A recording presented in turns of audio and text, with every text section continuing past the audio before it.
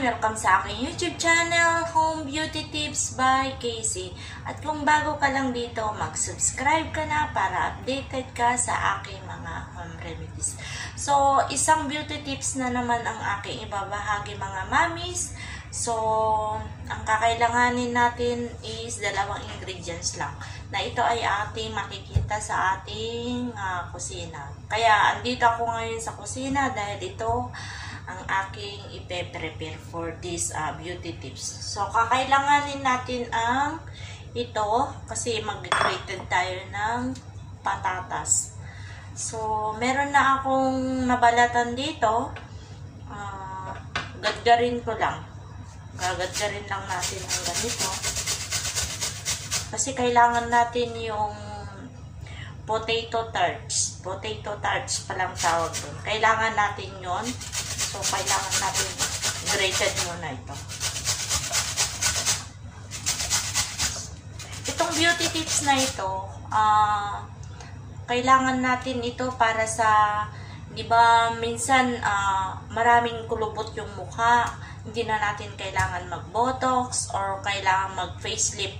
Tiyagaan lang natin, pwede natin itong gawin eh, continue nyo lang gawin ito ng one month, makikita nyo yung resulta mga mamis.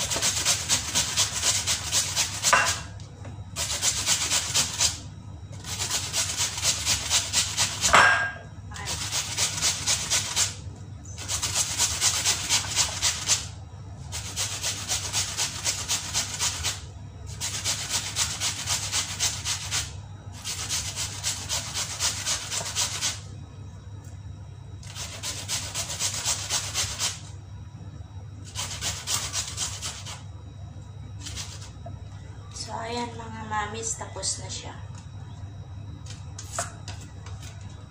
Tapos na siyang nag-grated, agad-agad.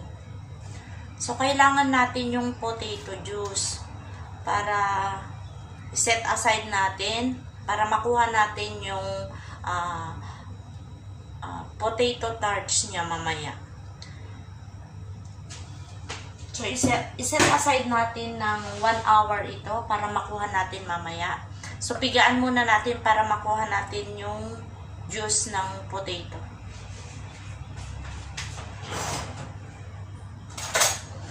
Kaya ako.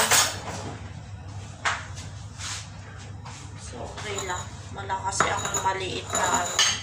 So, gagamitin ko na lang yung aking kamay na pang piga. Ayan. Kailangan lang natin yung potato juice niya. Wala yung salaan. So, ayan. Pwedyan ko, gagamitin ko yung aking kamay na lang. So, ayan.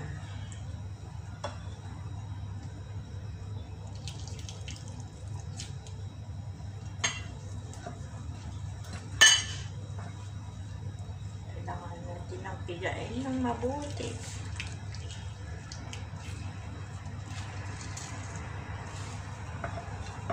Wala akong strainer kasi meron ako kaso lang malaki yun. So, okay lang to gamitin ko yung kamay. So, ito ang kailangan natin, yung potato juice. Iseset aside muna natin to para makuha natin yung tarts nito. At ito ang ating gagamitin mamaya para doon sa uh, anti-botox facelift.